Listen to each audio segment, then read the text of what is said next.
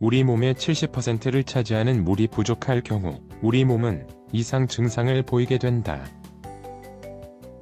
당신의 몸에 물이 부족하다는 7가지 증거에는 어떤 것들이 있는지 즉시 알아보자. 1. 몸이 무겁고 무기력하다. 수분은 두뇌 활동에도 영향을 주는데 물을 자주 마시지 않으면 두뇌 활동이 둔해진다. 이 때문에 자주 피곤하고 매사에 무기력한 기분이 든다. 2. 심장의 통증을 느낀다.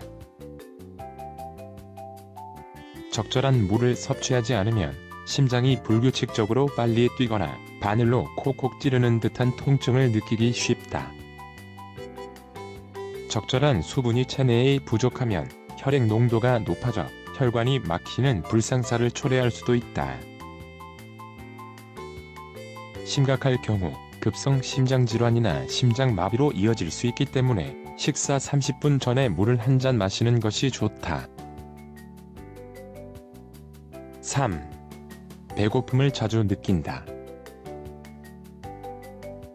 충분한 수분을 섭취하지 못할 경우 목마름을 배고픔으로 착각해 과식을 하기 쉽다.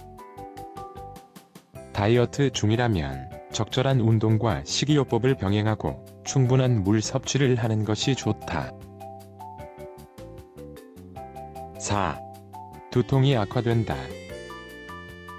몸에 수분이 부족하면 두통이나 어지럼증 등의 증상이 나타나고 심할 경우 신경질, 구토 증상까지 일으킬 수 있다.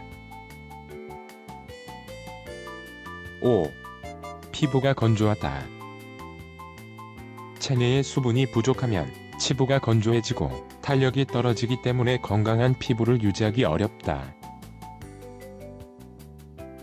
수분 부족은 피부와도 관련이 깊으며 젊은 피부를 유지하고 싶을 때 가장 효과가 좋은 방법은 물을 충분히 마시는 것이다. 6. 변비로 고생한다.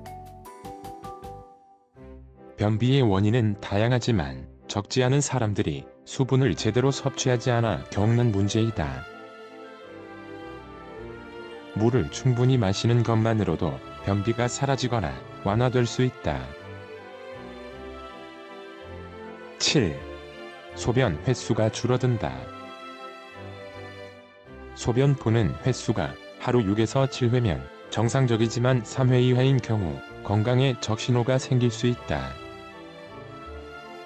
수분 부족으로 소변을 보는 횟수가 점차 줄어들면 우울감, 불안감 등을 유발해 수면 부족, 업무 능력 저하 등을 초래할 수 있다.